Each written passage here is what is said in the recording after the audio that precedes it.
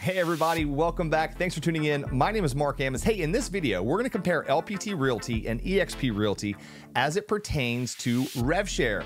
You know, RevShare is not something that AJ and I talk about a lot on this channel when it comes to LPT Realty, mainly because we think there's so many other good reasons to join LPT Realty that we kind of view the RevShare as icing on the cake for most agents, and so we don't spend a lot of time talking about it. But recently, a lot of the agents that have been partnering with us and exploring partnering with us are asking us the question about adding additional sources of revenue to their business, and they're looking at RevShare as one of those potential sources of revenue, something they don't have to have a direct trade of time for money for, right? Something residual. So they're looking at the rev share potential out there within the cloud-based brokerages, and they're looking at EXP and they're looking at LPT as two of the really big players that are out there in the cloud-based brokerage space where you can go to earn rev share. So they ask us, where is the best opportunity in the industry right now to actually earn rev share, to build an organization? And so while obviously our biased answer is, well, LPT, because we're the fastest growing real estate brokerage ever in history, I had never actually taken the time to break down the real numbers and do an apples to apples comparison of what the opportunity is. So in this video, we're gonna go through that. I've got a presentation here that shows you the math. It's really, really basic math. You can go find the numbers yourself and run the numbers to make sure that uh, I'm not pulling your leg. So we're gonna jump over here and we're start digging into the actual differences between LPT Realty and eXp Realty when it comes to how much opportunity there is to build a rev share organization. Let's go ahead and get started. All right, guys, here we are. So before we dig in, I want to make one clarification, and that is what question are we trying to answer and how are we going to answer that question? So the question that we're really trying to answer is which company, LPT versus EXP, gives agents today in 2024 the most opportunity to go out and build a rev share organization so they can start earning that additional layer of residual income in their business. And so the way that we're going to do that is we're going to look at how many agents have been doing it recently. So the methodology that I'm going to use for this is we're going to look at the year 2023 and we're going to look at how many agents the company started with, how many they ended with, how many people were out there recruiting, and then we're going to take an average to see of the number of recruiting agents on average, how many were most able to bring into their organization. So it's pretty simple. So we only need a couple pieces of information here. So let's dig in. So again, how many agent partners does the average attracting agent attract. So this is the real simple math here, guys. We're going to look at year over year net agent growth, and that's going to be our net partners gain. So what we're trying to look at here is how many agents did we start the year with? How many agents did we end the year with? And the, the difference between those is the net gain. Now, I'm not talking about the total number of agents that you brought into your brokerage. So, for example, if you added 40,000 agents, but you lost 35,000 agents, you only gained 5,000 agents. So, we're looking at the net here, okay? The next thing we're going to do is we're going to figure out within each company how many recruiting agents do we actually have. Now, I'm going to take EXP's word for it that only about 10% of their company is actively involved in trying to do agent attraction. With my experience here at LPT, I can say that's probably realistic. Um, so I'm going to use 10% for both of those because I think it's a pretty fair number. And that way we're on the same playing field. And then all we're going to do, guys, is we're going to take the number of new agents that we added, divide that by the number of agents that we're recruiting, and that's going to give us the number of agents added per recruiting agent. So let's move forward with this. So We'll start with EXP. And again, this is 2023. Just so you know, all the numbers that I'm using, again, the 10% is kind of what EXP says um, that they have uh, that number of agents actually recruiting. But in terms of the agent count, this is straight off of EXP's website. So you can go find this. Um, this was from their uh, Q3 2023 numbers, year over year growth. Uh, they have not come out with their Q4, but this is going to be pretty close. So uh, they ended uh, Q3 with 89,156 agents. They had 5% growth. So that means they started with 84,939. So grand total, they added 4,247 agents, give or take. Again, they gave a percentage here. This could be off by, you know, a dozen or a hundred agents one way or another, but it's going to be pretty close, right? The next thing we're going to do is we're going to look at how many agents starting off that year were actively involved in recruiting. So again, we're going to take their word at 10%. So 10% of 84,939 is 8,493 recruiting agents. So we've got 4,247 partners that were gained by 8,493. So it's really simple math. We just divide one by the other and we come to a grand total of 0.5. So these are the numbers, guys. This is the realistic number behind um, the 2023 results for EXP. Um, I'm going to point some things out uh, a little bit later that this is their global number. So they added those 4,300 agents across the entire globe. We're going to go into a little bit more uh, the differences between um, the, the, current geographic footprint of the two companies. But I want you to understand this is not just in the United States. This is uh, all of um, EXP in all 50 states and 24 countries. So they were able to attract around 43 net, uh, 4,300 net, net, net agent partners and there were about 8,500 agents um, that were actively doing that. So, on average, each agent that was actively recruiting was able to add one half of one. And so I, I want to kind of point out here that what this does show is that the 10% number is probably not realistic. There may be 10% of the agents who are actively trying to go out there and attract, uh, but on average, 50% of that 10% um, would have attracted zero agents, and then about 5% of the uh, company would have each attracted one additional agent over the course of the entire year. So, Let's do the exact same math and we're going to use LPT's numbers. The numbers for 2023 for LPT we started uh, the year at about 2,500 agents and we ended the year at 6,500 agents. So we gained 4,000 agent partners over that time. Now, I'll go into later, this was in anywhere between two and eight states. So for the bulk of 2023, we were only open in two, three, four states for about half of it, and then uh, as many as eight by the end of the year. And so I'll go into that a little bit later, again, just to make a little bit more realistic comparison uh, of what this, this actually looks like. So the number of recruiting agents, we're going to take our 2,500. Again, 10% of that, 250 agents. So we had 250 agents that collectively were able to attract 4,000. And so when we run those numbers, we come up with this. So on average, an agent that was actively trying to recruit, right? One of those 10% at the company who was actively out there uh, recruiting agents, um, on average, they were able to attract 16 agent partners uh, into their organization. And so, again, um, does that mean that every agent attracted 16? No, some attracted a lot more, some attracted fewer. Again, the same way that it would have been impossible for 10% of EXP to actually be involved in agent attraction because they only grew by 5%. So, in theory, only 5% of the company could have added one agent. Uh, again, these are averages, guys, but I hope that makes sense. All right, so visually, that's what this would look like. So one agent attracting 16, again, would have been the average for LPT in 2023. So when you compare these two visually beside each other, this is what you come up with. And again, this is not to disparage anyone. It is just to show the actual numbers of what occurred over the course of the last year when it comes to agent attraction in both of these companies. So again, over here, we've got EXP, who each of their uh, recruiting agents were able to gain 0.5, and we have LPT, where each of the recruiting agents uh, on average would have gained around 16. So that means that the average recruiting agent at LPT Realty attracted 32 times more partners compared to those recruiting agents at EXP Realty. So, in terms of the actual difference, LPT agents were 32 times more likely to attract an agent into their organization than an EXP agent was.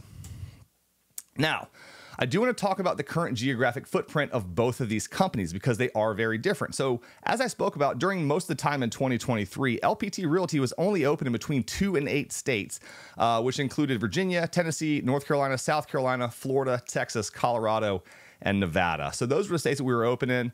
Um, contrary to that, again, that's where our 4,000 agents came from. The 4,300 agents from EXP, um, that was a global number. So that came from all 50 states as well as 24 countries. Uh, you can read out the countries uh, here on the slide. I'm not going to read those for you, but again, that's going to give you um, a little bit different perspective about how many uh, let's say United States based partners, uh, people here were able to reach. Because you have to imagine that as they're growing into these other countries, a lot of the growth they're seeing is probably coming from outside the United States as they're expanding their global footprint. Um, for all we know, there was a net loss of agents at EXP. I'm not saying that there was in, in terms of uh, in the United States, um, but we do know in a lot of individual markets that was the case. And we're going to get into a case study here in a second that's going to talk a little bit more about that. So, again, this is the global reach. And so, when you ask yourself, what's the growth potential? As far as EXP is concerned, they're already in all 50 states. There is nowhere else for them to go. They're in all 50 states. They're in Canada and Mexico. Again, you can see all of the different um, all the different countries that they're in here We're currently in 20 states here at LPT, and uh, most of those states were added in the last month of the year. So, really, uh, mid November to mid December is where the bulk of those extra states were added. And as you can see right here, we've got a map showing all of the states that we're currently open in here in LPT. Now, that means with us being in currently 20 states, we have 30 additional states to grow into, as well as other countries. So as you're looking at the number of agents that we were to add in just two to eight states, you kind of have to imagine that as we go into 50 states and other countries, there's certainly a lot more growth potential for us. We're certainly not saturated or maxed out. Now, I want to take a real life case study here because again, we there are some areas where we see net losses on a lot of these uh, companies where they're actually losing a lot more agents than we're gaining. And and this particular one came from a really good agent partner of ours, uh, JT Ford down in San Antonio, Texas. If you're in the San Antonio San, San Antonio area, you've got to look up JT and connect with him. Great guy, and he'll definitely take care of you, uh, getting you hooked up with LPT Realty. And these were some numbers that they shared from their local MLS board over the course of 2023. So again, we're just looking at EXP and LPT in this particular case. So um, highlighted here in orange, and I'll go ahead and jump over. So uh, let's take a look at EXP first. So EXP gained 562 agents in the San Antonio market over the course of 2023, but they simultaneously lost 739. So overall, EXP had a net loss of 177 agents in the San Antonio market. So there's 177 fewer agents in that city when the year ended than when it started. Now, that means, and we're just going to kind of divide all of this um, into some smaller numbers to make it easier to understand. But if you added 5.6 partners to your downline over the course of 2023 at EXP, you would have simultaneously lost 7.4 agents over the same time period. So your down your downline that year would have actually shrunk by 25%. So again, you would have added agents, five, five and a half agents, but you would have lost seven and a half agents. And so you would have been in a net loss of your downline um, while putting in all of the work to attract the five and a half agents. Again, this is not um, this. This means you had to actually attract agents. You're just losing more than what you're adding. And I want to take comparison LPT. So, uh, and again, all these numbers, by the way, I want to um, I want to thank JT and, and, his whole crew down there, just absolutely crushing it and making these numbers realistic because um, they're really, really showing agents the opportunity that we have here at LPT. And as we can see, it's really working. And so, over the same time period, when EXP lost 177 agents net, uh, LPT gained 338 agents and lost 38. So that was a net gain of 300 agents uh, here in San Antonio. Now, that means that LPT's presence increased in agent count in that market by 3,433%. So, you got to ask yourself why are all of these changes happening, right? Why are so many agents leaving one model and going to another? And so I'm just going to do a quick side by side comparison here to show you what agents are looking at out in the field as they're determining what brokerage is going to be best for them. So uh, here on the left, you can see we've got eXp Realty's comp plan. Again, they have one comp plan. It's the same for everybody. Uh, it's an 80 20 split. $16,000 cap. They have a $149 startup fee, an $85 monthly fee, $25 per transaction broker review fee, $40 per transaction risk management fee, and then a transaction fee of $250 after the PAYDIS cap, which uh, maxes out at $5,000. So your your all-in total cap, if you want to be an icon agent, is $21,000. You got your 16 plus your $5,000 in transaction fees. They do not have any annual fee. Uh, instead, they have the $85 monthly fee, which comes out to $1,020 a year. Now, when you compare that with LPT, we actually have two different comp plans. So the one I'm going to show you here is the one that's closest to what EXP has. That's our 80-20 split with a $15,000 cap. So the cap is $1,000 less. There's zero startup fee, no cost to join, zero monthly fee. So if you don't close a deal with LPT, you're not going to pay LPT any money. There's no broker review fee. There is no risk management fee. Instead, that all gets lumped into a one time $500 per year annual fee that comes out of your very first deal. So, again, you're not going to pay anything to LPT. They're not going to be dinging your credit card every month if you're not selling real estate. And that's a big deal for a lot of agents. And that's one of the reasons that we're seeing agents leaving brokerages like EXP that are dinging their credit card every single month, regardless of whether or not they're selling real estate. And they're going, why? And so, that's one of the things we see also. And then uh, the only other fee that LPT has is $195 per transaction fee on every single transaction that you do. So the second plan that LPT has is called our Business Builder Plan. And this is $500 per transaction with a $5,000 cap. So you do 10 transactions, you have capped. Again, zero startup fee, zero monthly fee, zero broker review fee, zero risk management fee, $195 transaction fee on each deal, and the $500 per year annual fee. So those are a difference in the comp plan, and and that's one of the reasons. But what we also see is the additional marketing that LPT um, provides, whether it's the free listing power tools, whether it's the free billboards to our agents, whether it's the uh, option for the luxury collection where you can do um, cross market billboards, really really high end, high quality print marketing for multi million dollar homes that are being out Sotheby's and Christie's list uh, agents. And so there's a lot of support, there's a lot of tools, there's a lot of marketing, there's a lot of ways that LPT is helping its agents grow their business faster, and they're doing it at a much lower cost. And so that's why I think we're seeing so many of the agents take the migration uh, away from EXP and come over to LPT. So I have to ask you a question. If you're an agent right now in 2024, and you're thinking about getting into agent attraction, you want to grow that organization of agents that partner with you, that name you as their sponsor, and that you get to share in the upside of the revenue they generate by taking a portion that would go to the company and keeping that for yourself for the work that you've done. So, if you're going to do that, do you want to do that at the company that had an average gain of 0.5 agents per recruiting agent, or the one that had 16 new agent partners per attracting agent? And I think the answer there is pretty pretty simple. But I want to make it very clear that I don't mean this um, as a negative thing towards EXP. This is just the reality of how these types of organizations grow. And so, in five to seven, however many years, again, EXP I think is about 14 years old now, and we're seeing they're hitting that saturation number. They're about 90,000 agents. My gut tells me that outside of international growth, they probably may see some some negative agent growth over the next couple years as more agents are looking for different options.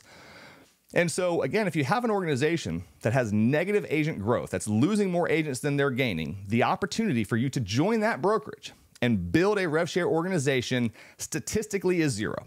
I'm not saying that you can't add some agents, but if you're losing more than you're gaining, the likelihood of really being able to build that, unfortunately, is just zero. And so, in a certain number of years, eventually, when when LPT is 100,000 agents, 150,000 agents, 200,000 agents, whatever that number ends up being, the opportunity is going to be very similar at LPT then as it is to EXP now. When we hit 150, 200,000 agents, agent number 150,000 simply does not have the same opportunity to build a rev share organization as agent 5,000, agent 15,000. And so I want you to keep that in mind. This is not to say that one model is better than another, um, although there are some clear differences that agents are choosing one over the other. It's just to show that this is the nature of what happens in a rev share organization over time. And that's one of the big reasons that AJ and I just don't push RevShare a lot as a reason to join LPT because what we know is that in the future, that will become less and less of a reason for agents to join as the opportunity simply diminishes. That's how it works, guys. The earlier you get in, the more chance that you have to be very successful in building a RevShare organization. And when that brokerage hits a saturation level, that opportunity kind of goes away. So, if you decide that this is something you want to do, you want to either come over here and do nothing but sell real estate and kind of keep this on the back burner. Maybe eventually you get into rev share, or maybe you're somebody who says, Man, that's some pretty serious opportunity. I want to dig into this and hit it really hard. Guys, fortunately, there's so much opportunity because, again, we're only in 20 states. We just opened in our 20th state. And so there's so much runway, there's so much opportunity um, for someone who really wants to add rev share as a revenue stream to their business here at LPT Realty. If you'd like to discuss it in a little bit more detail with AJ and myself, go ahead and um, schedule a one on one private Zoom call with us. We would love to connect with you. We'd love to answer any questions that you have, give you our experiences, the pros, the cons, the good, the bad, the ugly. But we'd love to chat with you. We'd love to know a little bit more about you and see if we can help, see if we might be the right partners for you um, to partner with here at LPT. And uh, until then, be well.